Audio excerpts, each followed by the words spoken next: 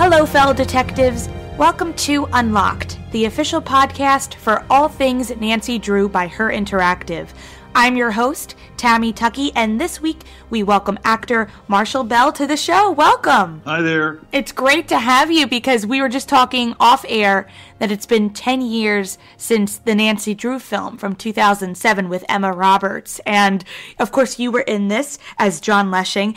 And I, I, I still can't believe it's been 10 years.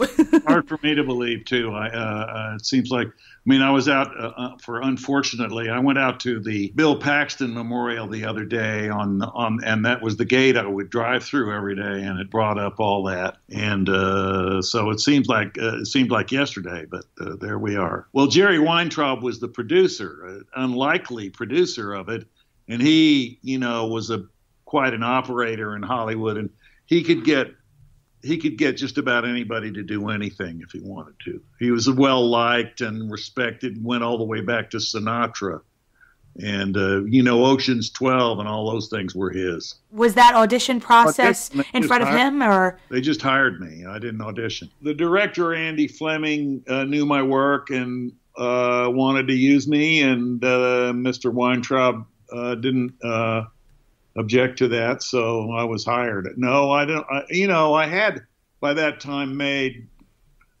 an awful lot of movies, so they had plenty of things to look at, I guess. And what what were some of your first films in the entertainment industry? You know, what drew you to go out to Hollywood and really uh, pursue your uh, career? Uh, that's a good story because what happened was my wife is a well-known costume designer, and she's got now four Oscars and stuff like that, and she was working on a f- film called The Cotton Club, and uh, uh, she had worked on a movie directed by uh, Alan uh, Parker called Midnight Express. And he was at dinner one night and um, putting together a movie, and he told somebody there that he wanted to use a character that was like me and because he knew me and then the guy was a casting director said well why don't you just use marshall and so he said, but Marshall's not an actor. And Fred said, well, try him anyway. So they, I ended up being in a movie called Birdy, which was made for uh, Columbia, well, what's now Columbia, uh, that Alan Parker directed, which was an A movie. And so, and I had to do something tricky in the little scene that I was in. So then I started getting seen by other people and I started working. So I got discovered really. You know, we shot a take and he printed the first take, and that was very encouraging, and that releases a lot of tension. So, so then, and he also was, he knew that I was an amateur really, and he gave me a lot of specific directions, which made life a lot easier. And then all of a sudden, you started loving it after toward the, you know, that was the deal. I, you, you know, I, I fell in love with it what was it like to kind of walk around the set and try to get into character of the, the character of Leshing? First of all, uh, I trusted everybody on the, you know, uh, Jerry Weintraub, it's a really a professional organization. So you trust everybody that's there because it's like a lot of pros. And then it turns out uh, Emma Roberts was a wonderfully charming, energetic, young actress to work with. So, and my scenes were a lot of them with her. And so that made life a lot more pleasant because we got along really well. And, you know, I met her parents and I got along with them. And I mean, it was just a, there were some hard things to do technically as an actor, very, but um, uh, th- that's fun too. That's a challenge and it's fun. I try to do it a day at a time. I try to not worry about uh, the end uh, of, a, of something like that so that I kind of don't think about what's going on. Um, at the end, I think about um, how who is this guy today? The thing I was pleased with was that in the end, it, it you know, Leshing genuinely liked her. I think that I was able to make that come through, you know, uh, insofar as Leshing was able to like anybody, you know. You're working with Rachael Leigh Cook, uh, Tate Donovan, Emma Roberts, you know. A fan of everybody. Uh, I'm a fan of Tate, and it was really very, you know, all these people were very easy to be around and to work with. And, and you know that's a that's a great bonus because that not, that's not necessarily uh, going to be the case. Although I've been very lucky in my career that that has been the case. Uh, Rachael, uh, you know, I worked with in a kind of intense way in another movie right after that, where she was kind of my boss, and uh, so I uh, I got to be very good friends with her. And uh, Emma, you know, I'm a I'm a fan. I actually know her father and all that. Um, I was a fan right away. She was just a very uh, wonderful to watch work and to work with. And, and, the other people in the Barry, everybody in the cast was just fantastic to work with. Uh, I mean, uh, I, I, loved actually the whole experience of doing the movie for everybody. I love the director. I worked for him again. You know, everybody on the set were the, the crew was. It was just a wonderful experience at every level to do the film. If you ever got the chance to work with Nancy for a mystery, where specifically would you like to go and visit and solve a mystery? At? Berlin, Germany. It's just it's just an amazingly rich. It's just a fantastic city uh, to be able to do anything in, you know. And so uh, that's easy to answer. The thing that just I keep smiling when I think about this was just how charming um, Emma was to work with because you know, she was 15, so they have restrictions on them. You know, they have to go to school and all that stuff. And she had her little bike and everything. And of course, she grew up out here in the business and was very, it was very adamant about maintaining her little girlness instead of just being some so-called savvy Hollywood kid. She wasn't like that. It was really charming to be to work with her. Really was. Now, what do you think? You know, it's been 10 years since the film, but let's say we got to check in with Leshing and his family, his new family. What do you think that they would be up to now? Oh, I think Leshing uh, came out of himself and became.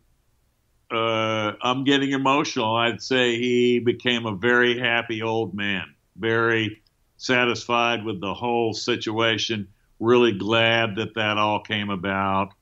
Uh, it changed him into a much more friendly, huggy bear than he was before, and he just, you know, I'd say it was very happy deal for him because Rachel is so good at that person that, and I know, and I did end up with Rachel again, and I just know Leshing would have would have loved his daughter, you know. And Leshing's little granddaughter, she was so cute. How old was she? Like three or four? Uh, God, I remember that. She was very good. I, you know, I'm just thinking about that now. I was downtown. She was excellent too. Uh, I don't know exactly how old she was. Very young. In terms of film, you can't bank on the kid that age delivering for the scene to work like that. And of course, I now remember it was very, we were all, it's just great when it happens. Great. There are a lot of people out there who would love to find and work their way into the entertainment industry. So, would you have any advice for people who are aspiring actors and actresses? That's what I say to everybody don't do it. But if you want to do it, you're not going to listen to me. So, once you do do it, and you're out here and you do whatever you're doing, waiting tables and then going to class and everything, and you start to work, and you want me to answer your calls and tell you what you should, you know, give you any kind of, I don't know, advice is a, certainly a word I don't like very much out here, but you know, if you want somebody to talk to about it while you're here, I'll answer your calls and I'll tell you because you're because people who are driven to do this aren't going to listen to people who tell them not to do it, but it's a it's a potential heartbreak, you know. I mean, mm-hmm. because you just gotta love rejection, you know. I remember I was at a I went to the University of Colorado and they had me telling uh, a class, you know, of act. There was an acting class, and they said, uh, "What would be the number one thing you would say?" And I said, "Don't party." And they're all very sad I said, party after you get the part. Don't party until you do, because uh, that's the wrong time to do it. You can't afford it. Well, uh, it's a great gift to be able to be kind and, and not be too suspicious of everybody. So mm-hmm. uh, uh that's a gift, though. I mean, a lot of people naturally are, and this is a business that's got full of kind of suspicious and you know who who did this to me to get the role, whatever. Uh, and you just have to keep on not participating in any of that. Uh, this is already, you know, this town's a setup for bad things to happen because because only a very few people get to have success here. So, you know, you just have to maintain, as you say, be kind. It's great advice, though. It does help in the long run. So, but if you could describe your experience being a part of the Nancy Drew universe using one word, what would that be? Complicated. but in a good way, right?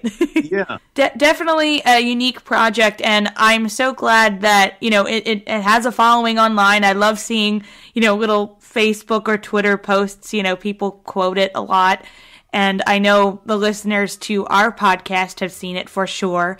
So uh, I cannot thank you enough for being on the show. And here's to another 10 years of Nancy Drew. I hope we get maybe another sequel or something like that. And I hope they ask you back for it. It'd be cool to see Leshing and uh, it would be cool to see Leshing helping out Nancy with her next, her next, you know, sleuthing mystery.